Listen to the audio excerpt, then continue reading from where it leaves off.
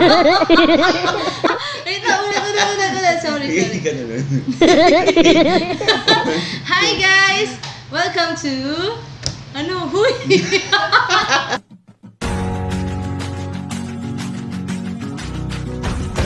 Hi guys! Welcome, to, our channel!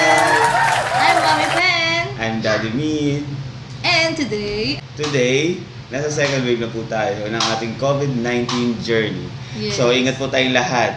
So, ang tips po namin ngayon or ang vlog ay tungkol sa um, tips kung paano natin may iwasan ang virus. So, may iwasan po natin yan sa pagsuot ng mask, ang hand washing. hand washing at saka face shield. and also social distancing. So, ang topic po natin for today ay isa sa mga effective ways kung paano natin maiiwasan ang COVID virus. Yun po ay ang paggamit ng alcohol. So, meron tayong dalawang alcohol na makikita sa mga supermarket, department store. I-differentiate namin kung anong pagkakaiba ng bawat isa, kung saan sila ginagamit. So, let's start. Okay, first is ethyl alcohol. Itong alcohol na to ay gawa sa or isang uh, or ang sangkap niya ay galing sa sugar cane or corn. So, itong ethyl alcohol ay ginagamit din sa paggawa ng alak at pwede rin siyang sangkap para sa paggawa ng gasolina. At saka, ang ethyl alcohol, guys, ay ginagamit sa mga non-living things or sa mga bagay na walang buhay. So, um, ang mga advice ko lang, kung wala naman kayong isopropyl alcohol, pwede nyo naman gamitin yung ethyl alcohol. Okay. Isopropyl. Yung ethyl, kung more on ginagamit siya as disinfectant, sabi nga ni Daddy Mid, ang ethyl alcohol ay more on disinfectant. So, ang disinfectant, ang pagkakaiba niya dito sa isopropyl, ang isopropyl ay antiseptic siya.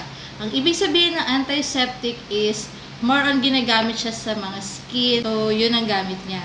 Um, kung ang ethyl naman ay made from sugarcane, ito namang isopropyl ay gawa sa compound na tinatawag na propene from fossil fuels, petroleum, natural gas, and even sa mga coals.